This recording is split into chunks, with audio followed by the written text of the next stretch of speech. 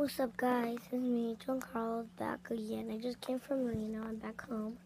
Yay! So tired.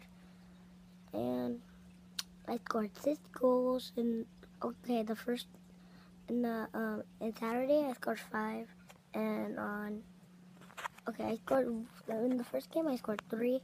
In the second game I scored two, and yeah, and then I was five. And then the next game, the next game I played, well, I only play one game but we're gonna play the exact same. T- we're gonna play, about to play that team two times. So we went to one, and, two, and it was in the finals. We went to two, too easy, and I scored a penalty. So I scored, Got us three, five, no six, six goals, and yeah. And go um, on Instagram. If you have an Instagram, go to and go to um, FC Elk Grove. And yeah, I'm not saying all the other teams like IR or Placer sucks, but they kind of do. Sorry.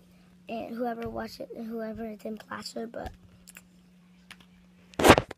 they have beat us two times already.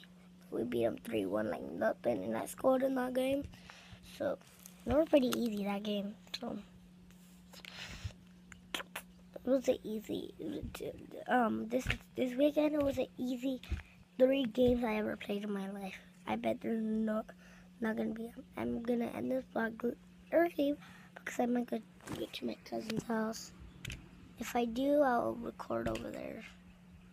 So sorry this is gonna be a really short vlog. Um so yeah. See you.